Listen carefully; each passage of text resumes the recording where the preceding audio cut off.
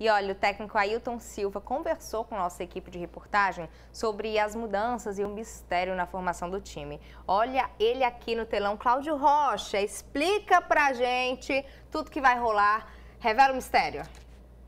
Na atividade desta quarta-feira, o técnico Ailton Silva optou por fazer um treino fechado para a imprensa. Ailton, que mistério é esse?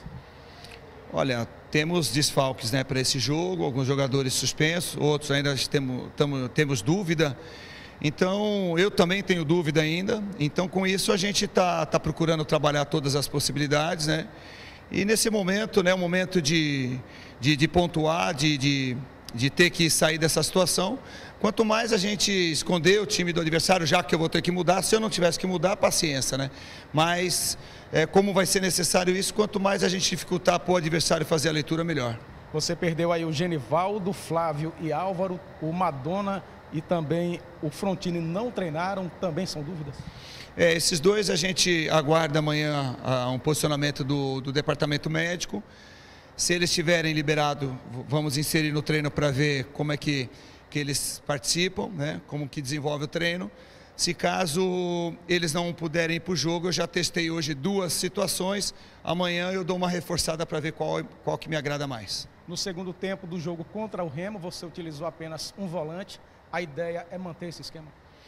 Olha, vai depender muito ainda dos jogadores que eu vou ter à disposição. Pode ser que sim, pode ser que não.